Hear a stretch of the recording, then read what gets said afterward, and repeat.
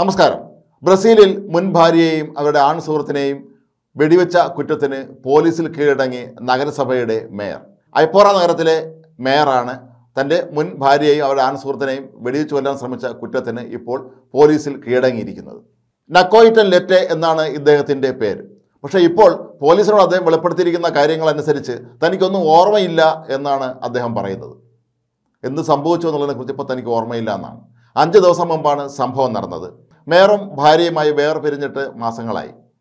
ഇപ്പോൾ മുൻ ഭാര്യ അവരുടെ സുഹൃത്തിനോട് ആൺ സുഹൃത്തിനോടൊപ്പമാണ് താമസിക്കുന്നത് ഇവർ താമസിക്കുന്ന വീട്ടിലേക്കാണ് ഒരു വാഹനം ഓടിച്ചെത്തിയത് മേയർ.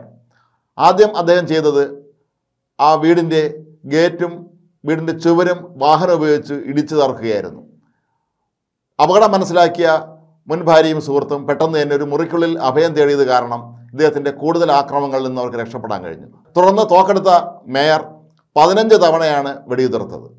പക്ഷേ വീടിനുള്ളിൽ ഒളിച്ചിരുന്നത് കാരണം അവർക്ക് വെടിയേക്കാതെ രക്ഷപ്പെടാൻ കഴിഞ്ഞു. മാത്രമല്ല ഇദ്ദേഹത്തിന്റെ കയ്യിൽ മറ്റൊരു തോക്കും ഉണ്ടായിരുന്നതായി പറയപ്പെടുന്നുണ്ട്. ഏതായാലും ഇത് സംബന്ധിച്ച് പോലീസ് നടപടികളുമായി മുന്നോട്ട് പോയി. മേയറാകട്ടെ ഒടുവിൽ പോലീസ് മുന്നിൽ കീഴടങ്ങാൻ നിർബന്ധിതനാവുകയായിരുന്നു. പക്ഷേ പോലീസ് മുന്നിലെത്തി മൊഴി ആവശ്യപ്പെട്ടപ്പോൾ മേയർ പറയുന്നത് തനിക്കൊന്നും ഓർമ്മയില്ല എന്നാണ്. മാത്രമല്ല അദ്ദേഹം മറ്റൊരു കാര്യം കൂടെ പറയുന്നുണ്ട്.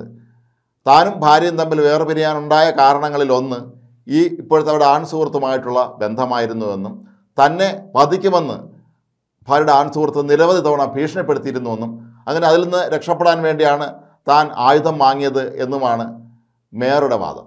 എന്തായാലും അധികാരമുണ്ട് മേയറാണെങ്കിലൊക്കെ തന്നെയും. ലക്കോറ്റ ഇപ്പോൾ വല്ലാത്ത അവസ്ഥയിൽപ്പെട്ടിരിക്കുകയാണ്. കാരണം ബ്രസീൽ പോലുള്ള രാജ്യങ്ങളൊക്കെ തന്നെ നിയമം വളരെ കർശനമായി നടപ്പാക്കുന്നുണ്ട്. വധശ്രമം എന്ന് പറയുന്നത് ചെറിയ കുറ്റമല്ല അവിടെയും. അതുകൊണ്ട് തന്നെ അദ്ദേഹത്തിന്റെ മേയർ പദവിയും നഷ്ടപ്പെടാം. ഒപ്പം ജയിൽവാസവും അനുഭവിക്കേണ്ടി വരും എന്നുള്ളത് ഉറപ്പാണ്.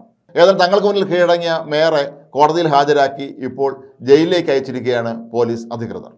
ലക്കോറ്റയും ഭാര്യയും പതിനഞ്ച് വർഷം മുമ്പാണ് വിവാഹിതരായത്. മാസങ്ങൾക്ക് മുമ്പാണ് അവർ വിവാഹമോചിതരായത്. തന്റെ വിവാഹമോചനത്തിന്റെ പ്രധാനപ്പെട്ട കാരണക്കാരിൽ ഒരാൾ അവരുടെ ആൺസുഹൃത്ത് ഇപ്പോൾ ഈ കൂടെയുള്ള ആൺസുഹൃത്താണ് എന്ന് മേയർ നേരത്തെയും പലതവണ വ്യക്തമാക്കിയിട്ടുള്ളതാണ്.